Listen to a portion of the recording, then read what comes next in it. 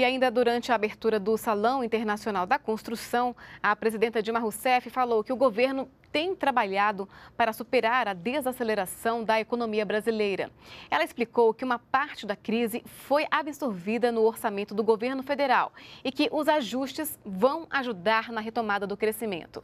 Dilma Rousseff garantiu ainda que os programas sociais estão mantidos. A questão central é a seguinte: nós vivemos a segunda etapa da crise mais forte que o mundo passou desde 1929. Os países, tirando, com exceção dos Estados Unidos, os países desenvolvidos, têm encontrado extremas dificuldades.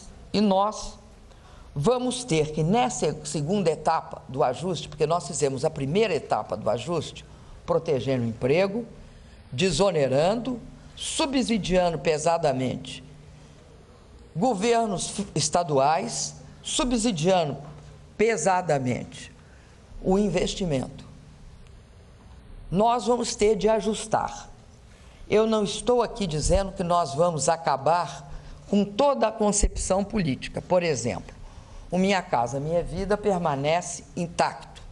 Bolsa Família permanece intacto.